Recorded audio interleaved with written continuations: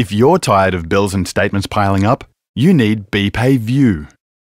BPay View sends bills and statements straight to the same online bank you use to pay them, so you'll never need to shuffle paper again.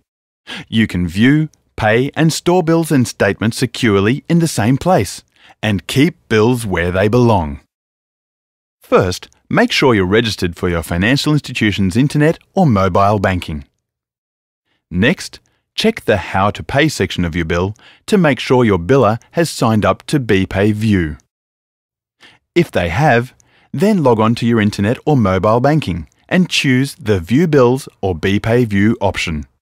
At some financial institutions, you will only be able to register for the service through internet banking. Follow the prompts to add the biller to your address book and register for BPay View. Generally, you'll need the biller name or biller code, plus the BPay View registration number, which is usually your customer reference number. Some billers might ask for a few extra details. And that's it! It really is that easy. Within two business banking days, your financial institution will be in touch. Then, when a bill arrives from one of your registered billers, you'll get a message in a form that you've already selected either by SMS, email, or bank message to let you know. Viewing and paying a bill with BPay View is even easier. Just log on to your internet or mobile banking, then choose View Bills or BPay View. You'll see a summary of the bill, including the biller, amount, and due date.